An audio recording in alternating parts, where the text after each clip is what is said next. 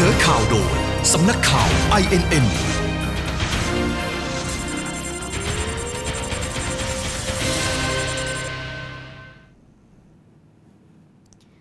นาฬิกามาติดตามข่าวกับดิฉัน ปรางคณิตบุญเผยจากสำนักข่าว INN ค่ะ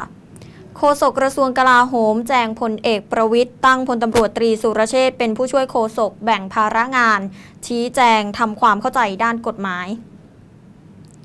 พลโทคงชีพตันตระวาณิชย์โฆษกกระทรวงกลาโหม ชี้แจงถึงกรณีแต่งตั้งพลตำรวจตรีสุรเชษฐ์หักพาล รองผู้บัญชาการตำรวจท่องเที่ยวเป็นผู้ช่วยโฆษกประจำรองนายกรัฐมนตรีพลเอกประวิตรวงษ์สุวรรณโดยระบุว่าพลเอกประวิตรรับผิดชอบงานมั่นคงในหลายด้าน ซึ่งตนเองเป็นโฆษกประจำตัวพลเอกประวิตรและกระทรวงกลาโหม แต่ในมิติด้านความมั่นคงที่เกี่ยวกับเรื่องกฎหมาย เช่น เรื่องเกี่ยวกับการแก้ไขปัญหาหนี้นอกระบบ ที่มีความเกี่ยวข้องกับกฎหมาย หลายหน่วยงานหรือเรื่องแก๊งคอร์เซนเตอร์ที่รุกไปยังต่างประเทศแล้ว เพื่อสร้างความร่วมมือในการจับกลุ่มพลเอกประวิทย์ซึ่งมีความสัมพันธ์ที่ดีกับรัฐมนตรีว่าการกระทรวงกลาโหมต่างประเทศ สามารถโทรศัพท์พูดคุยกันได้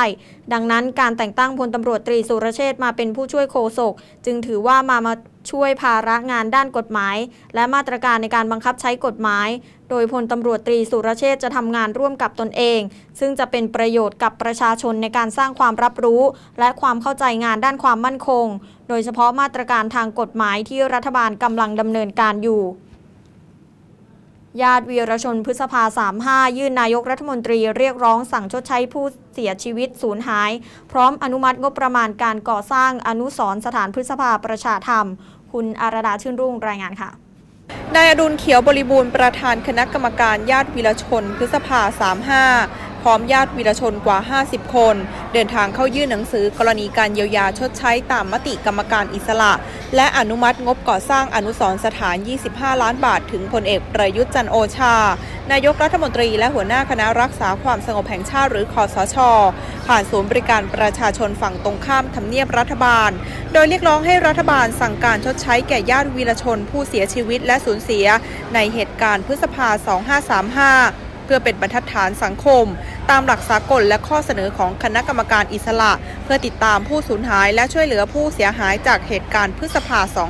2535 พร้อมกันนี้ยังขอให้รัฐบาลอนุมัติงบประมาณการก่อสร้างอนุสรสถานพฤษภาประชาธรรม ตามมติคณะรัฐมนตรีที่เคยอนุมัติไว้แล้ว เมื่อวันที่ 30 ธันวาคม 2546 อย่างไรก็ตามทางคณะกรรมการญาติวีรชนพฤษภา 35 หวังเป็นอย่างยิ่งว่า นายกรัฐมนตรีจะให้ความสำคัญในการแก้ไขปัญหาดังกล่าว เพื่อคืนความเป็นธรรม และสร้างบรรทัดฐานที่ดีงามในสังคมไทย และเพื่อความรักความสามัคคีความปองดองของประชาชนอลดาชินลุงผู้สื่อข่าว INN รายงานจากทำเนียบรัฐบาลค่ะระดมเครื่องผลักดันน้ำและเรือผลักดันน้ำเร่งระบายน้ำเพชรบุรีลงอ่าวไทย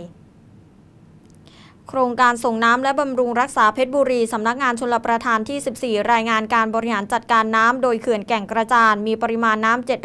777.031 ล้านลูกบาศก์เมตร หรือ 109.44%มีน้ำไหลลง 25.609 ล้านลูกบาศก์เมตร เปิดระบายน้ำ 282.00 ลูกบาศก์เมตร ต่อวินาที ส่วนที่เขื่อนเพชรเปิดระบายน้ำลงแม่น้ำเพชรบุรี วันละ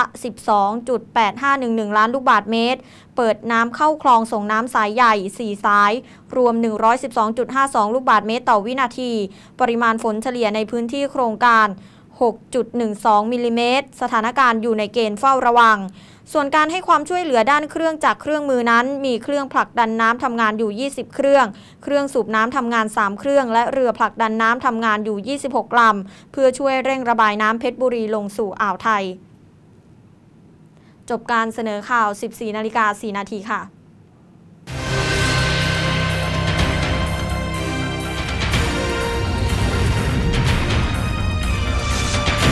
ข่าวโดย สำนักข่าว INN